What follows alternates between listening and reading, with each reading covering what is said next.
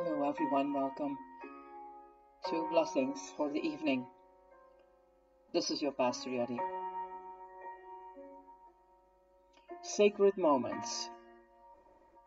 Teach us to number our days, that we may gain a heart of wisdom. Psalm 90, verse 12.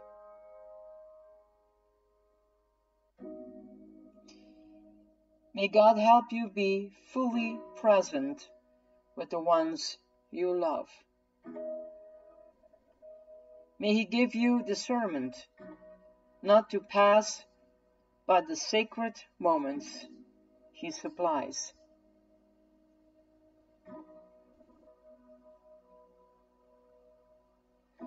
May He give you faith to believe Him for great things and insight to fully embrace what you already possesses in him.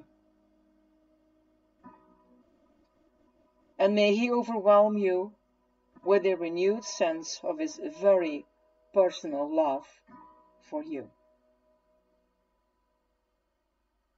Sleep well tonight.